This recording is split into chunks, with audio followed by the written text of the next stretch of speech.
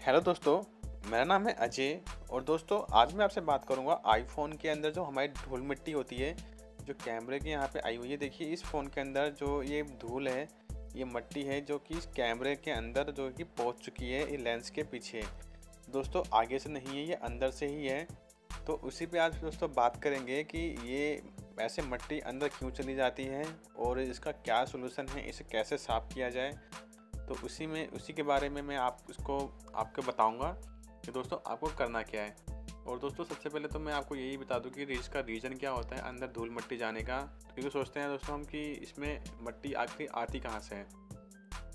दोस्तों ये जो लेंस लगा हुआ है, इस लेंस से तो मट्टी अंदर जा सकती नहीं है, कहीं से भी कोई दिक्कत नहीं होती है, लेकिन जो देखिए साइड से ऐसा होता है ना दोस्तों कि जो हमारे साइडें हैं, जो डिस्प्ले के कॉर्नर होते हैं ये इसकी वजह से धूल मट्टी अंदर पहुँच जाती है।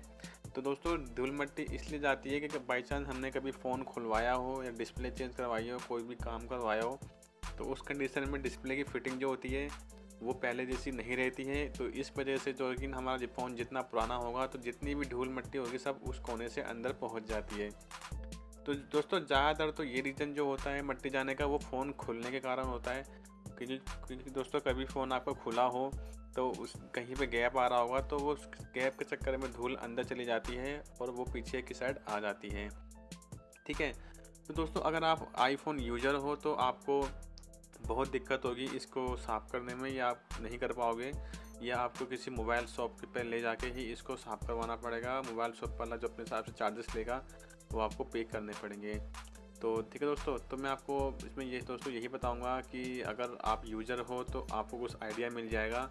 अगर आप टेक्नीसन हो तो आपको तो पता ही होगा। बाकी मैं आपको समझा रहा हूँ तो इसके लिए दोस्तों आपको फ़ोन खोलना होगा। ठीक है तो आपको फ़ोन खोलने के लिए तो आईफोन के जो अंदर देखना पड़ेगा ये मट्टी आखिर कहाँ से आई है, क्यों आई है, कैसे आई है, ये सब भी आपको देखना पड़ेगा। कितनी मट्टी अंदर गई हुई है, वो सब आपको देखना पड़ेगा। तब आपको पता लगेगा कि मट्टी आखिर कहाँ से गई है। पहले दोस्तों फ़ोन को बंद कर लेता हूँ। दोस्तों, बहुत से फ़ोनों में आपने देखा होगा कि धूल मट्टी जो है कि दोस्तों आ जाती है। आपके साथ भी किसी ऐसा हुआ होगा कि हमारे फ़ोन के पीछे कैमरे के लेंस में धूल चली गई हो और उसको हम साफ़ करवाने जाने हैं तो जाते हैं शॉप पे। तो ठीक है दोस्तों तो वो इसी की बता रहा हूँ कि दोस्तों ये जो कारण होता है, ये सिर्फ़ फ़ोन खुलने का कारण होता है। ये जबकि दोस्तों यहाँ पे काफ़ी धूल मट्टी जो है कि फ़ोन में पड़ी हुई है, बहुत सारी। ये कहाँ से आई, पता नहीं तो मैं आपको दिखाता हूँ। पहले इसके फ़ोन की डिस्प्ले को उतार लेता हूँ। ठीक है?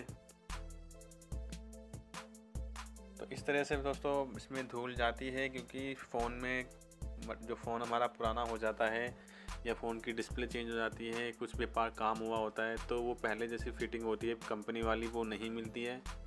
इस कारण हमारे फ़ोन के अंदर धूल मट्टी चली जाती है। और दोस्तों, धूल मट्टी ऐसे नहीं जाती क्योंकि अगर आप किसी वैसे एरिए में हो जहाँ पे जहाँ मिट्टी ज़्यादा हो या किसी दुकान पे हो, कहीं पे ऐसी जगह हो जहाँ मिट्टी ज़्यादा हो तो उस जगह के हिसाब से फ़ोन के अंदर मिट्टी जाने के ज़्यादा चांसेस होते हैं। लेकिन अगर अगर आप घर में हो या किसी ऑफ़िस में हो, बस ऑफ़िस जाना आना हो तो उस कंडीशन में फ़ोन में मट्टी जाना जल्दी नहीं होता। ओके? तो देखिए, अब मैं आपको दिखा हूँ इस फ़ोन में काफ़ी दोस्तों मट्टी गई हुई है। देखिए, आप देख सकते हो इसके डिस्प्ले का कितना बुरा हाल हो रखा है। काफ़ी सारी धूल इसमें गई हुई है। तो देख सकते हो, ठीक है? तो देखिए, कितनी सारी धूल मट्टी है। तो यही कारण है फ़ोन के कैमरे तक मट्टी पहुँचना। देखिए दोस्तों, इतनी सारी मट्टी अगर आगे आ सकती है तो उसी चक्कर में पीछे भी ये मिट्टी चली गई है। ठीक है, देखिए कितनी सारी धूल जो है कि दोस्तों जमी हुई यहाँ पे काफ़ी सारी धूल जमी हुई है। तो अब यहाँ से आप आइडिया लगा सकते हो दोस्तों तो ये कैसे इतनी धूल चली गई है? ओके पहले देखते हैं। ठीक है दोस्तों तो यहाँ देखिए काफ़ी सारी इसमें धूल गई हुई है। तो चलिए दोस्तों, अब हम इसकी जो है पहले सर्विस करेंगे। पहले जितनी भी धूल है, ये सब साफ़ करेंगे। एकदम इसको बिल्कुल क्लीन क्वालिटी में कर देंगे ताकि ये फ़ोन एकदम साफ़ सुथरा हो जाए। तो इसको क्लीन करने के लिए दोस्तों, आपके पास एक ब्रश होना चाहिए और थोड़ा क्लीनर होना चाहिए। जिससे कि आप इसको साफ़ कर सकते हो। तो सबसे पहले मैं दोस्तों उसका कैमरा निकाल देता हूँ, बैक कैमरा हमारा। ठीक है, फिर इसको भी देखते हैं। पहले कैमरा निकाल के साफ़ कर देता हूँ। तो ये कैमरे की ऊपर की सीट है। ओके तो इस तरह से आपको कैमरे को भी निकाल लेना है। तो कैमरे में भी दोस्तों काफ़ी धूल जो है गई हुई है। कैमरा चांसेस ज़्यादा है कि कैमरा भी इस कंडीशन में ख़राब हो जाते हैं, लेकिन फ़िलहाल कैमरा तो ठीक चल रहा था, ऐसी कोई बात नहीं है बस देखिए धूल मट्टी काफ़ी है इसके ऊपर तो ये भी हम देख लेंगे। ओके, काफ़ी मट्टी गई हुई है। तो सबसे पहले दोस्तों हम इसको क्लीन करेंगे बस देखिए काफ़ी सारी मट्टी देखिए, खूब सारी मट्टी जो है कि इस फ़ोन में आई हुई है। ये कहाँ से आई है? शायद जो ये यूज़र है आईफोन जिसका है, वो शायद उस एरिया में हो जहाँ पे ज़्यादा धूल मट्टी होती है, चाहे इसका ऑफ़िस हो या कि घर हो। उस वजह से फ़ोन में ज़्यादा मिट्टी आई है। ओके तो चलिए अब हम इसको क्लीन करेंगे। तो आपको एक ब्रश लेना है। तो ब्रश से अच्छे अच्छे से दोस्तों उसको पहले क्लीन कर लेना सारे को। जितनी भी धूल मिट्टी दोस्तों निकाल लेनी है। क्योंकि दोस्तों धूल मिट्टी से क्या होता है कि फ़ोन में, ज़रूरी नहीं कि फ़ोन में दिक्कत नहीं आएगी। कभी भी ऐसा हो सकता है कि फ़ोन में किसी जगह पे अगर जम जाए मिट्टी तो वो हिस्सा काम करना हमारा बंद कर देता है।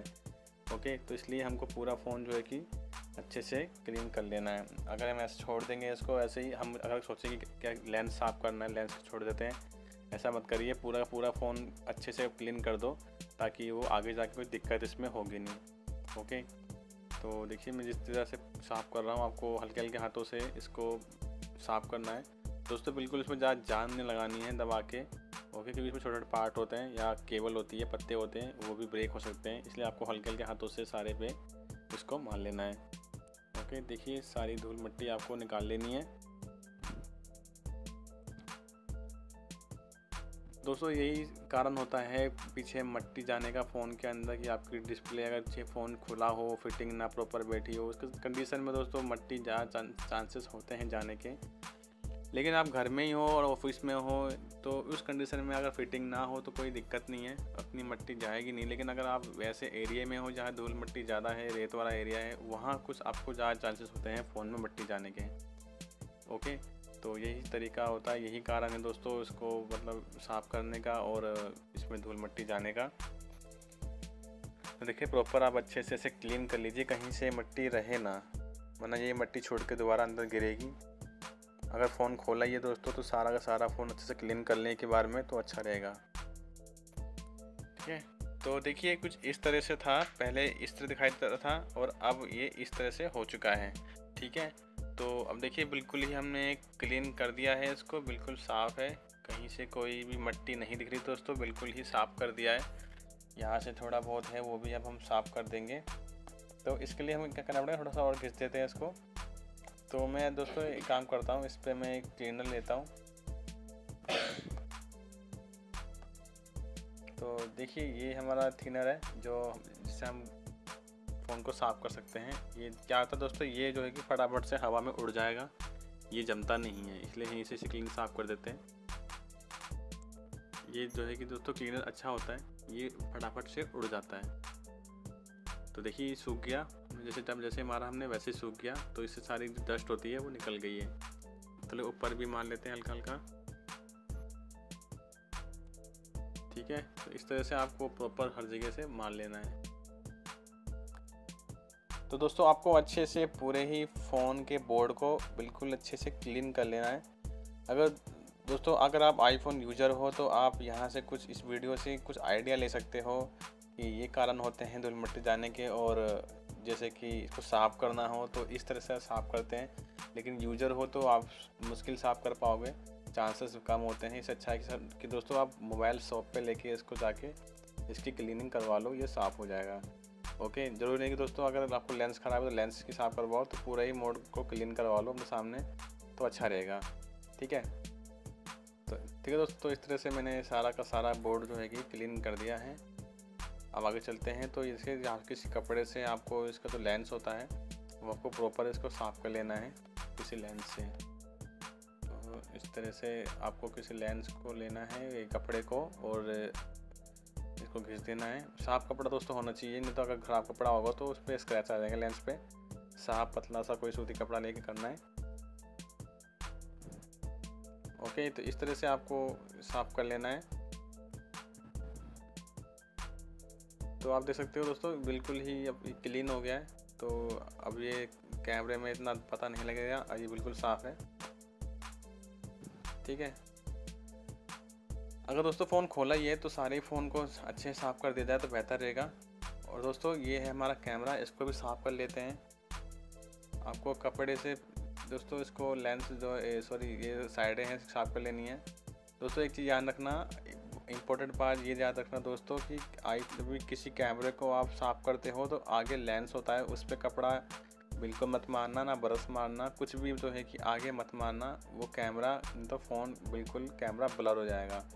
ओके तो हल्के हल्के हाथों से ही कैमरे के पास मारना है, बिल्कुल घिसना नहीं है, ना ब्रश मारना है, ना थिनर मारना है, वरना कैमरा ये ब्लर हो जाएगा फ़ोटो बिल्कुल साफ़ नहीं आएगी। कोशिश करिए दोस्तों, जितना हो सके उसके कैमरे को लेंस पे कुछ मत टच होने दीजिए। वरना कैमरा ब्लर हो सकता है और ख़राब हो जाएगा। ठीक है दोस्तों, दूर दूर से आप इसको साफ़ कर लीजिए हल्के हल्के हाथों से आगे साइड ओके देखिए, इस तरह से हल्का हल्का आपको साफ़ कर लीजिए। ज़रूरी नहीं दोस्तों आपको आपको कोना कोना साफ़ करना है। जितना हो सके आप उतना कर दीजिए। देखिए, मैंने पूरा भी नहीं किया है। मैंने जितना था मैंने साफ़ कर दिया, ताकि कैमरे में कोई और इशू ना आ जाए। ओके चलिए, मैं इसको भी लगा दूँगा। तो इस तरह से हमने इसको भी साफ़ कर लिया दोस्तों। प्रॉपर बिल्कुल ओके हैं। चलिए, अब इसको फिट कर देते हैं।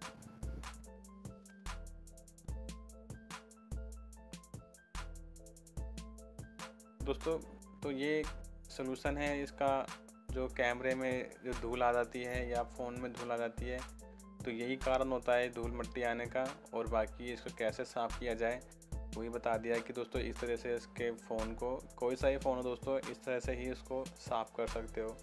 बड़ा इजी है, आसान तरीका है, कोई भी झंझटबाजी नहीं है। अगर आप दोस्तों यूज़र हो तो मोबाइल शॉप पे चले जाओ, अगर आप टेक्नीशियन हो तो आप तो अपने हिसाब से आप कर ही लोगे, इतना तो कोई दिक्कत नहीं आएगी आपको। ओके? और ठीक है दोस्तों तो इस तरह से आपको ये चीज़ आपको करनी है। ओके तो मैंने इसको पूरा फ़ोन फिक्स कर दिया है और बिल्कुल ही साफ़ नई कंडीशन में कर दिया है। कहीं से कोई मट्टी नहीं है। वजह कि हाँ देखिए यहाँ से पीछे से कोई भी अब धूल पहले तरह नहीं है। कोई बता भी नहीं पाएगा कि फ़ोन में कोई धूल थी, क्या था। कुछ भी नहीं है दोस्तों, बिल्कुल ही साफ़ क्लियर हो गया है। इससे फ़ोटो भी साफ़ आएगी और कस्टमर को इतना कोई डाउट भी नहीं होगा और उसको अच्छा लगेगा। वो यूज़ कर सकता है। तो चलिए अब हम इस फ़ोन में, फ़ोन को फिक्स कर देते हैं। तो देखा दोस्तों, बड़ा ही आसान तरीका था इसको साफ़ करने का। कोई भी ज़्यादा बड़ा काम नहीं था इसमें, कुछ भी नहीं था। बिल्कुल ही इजी था। तो इस तरह से हमने इस फ़ोन को जो है कि साफ़ किया है। आपने देखा दोस्तों कितनी सारी इसमें धूल मट्टी जो है कि इसमें जमी हुई थी और अब जो है कि हमने इसे बिल्कुल ही क्लीन कर दिया है। ओके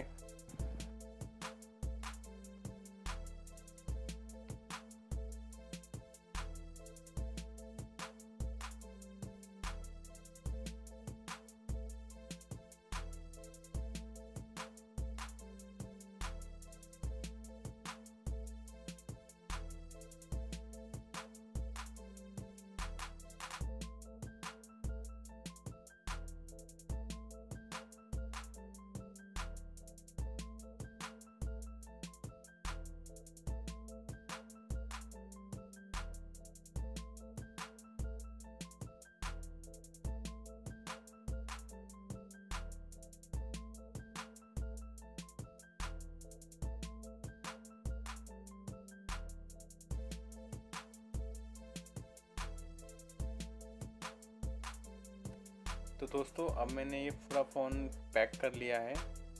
ठीक है? तो चलिए, अब मैं इसको बंद कर देता हूँ। तो देखा आपने तो इस तरह से हमने पूरे फ़ोन को जो है कि क्लीन किया और साफ़ किया। तो मैंने आपको उसका कारण बता दिया और सोल्यूशन बता दिया कैसे करना है। ओके दोस्तों तो चलिए, इसको दबा देता हूँ बैटरी चिप लगाता हूँ। इसके ऊपर से मैं अपना स्टिकर लगा देता हूँ, ताकि मेरे हाथों खुला हुआ फ़ोन है, इसलिए। ओके? डन तो चलिए अब इसकी, इसको फिक्स कर देते हैं फ़ोन को ऑन करके।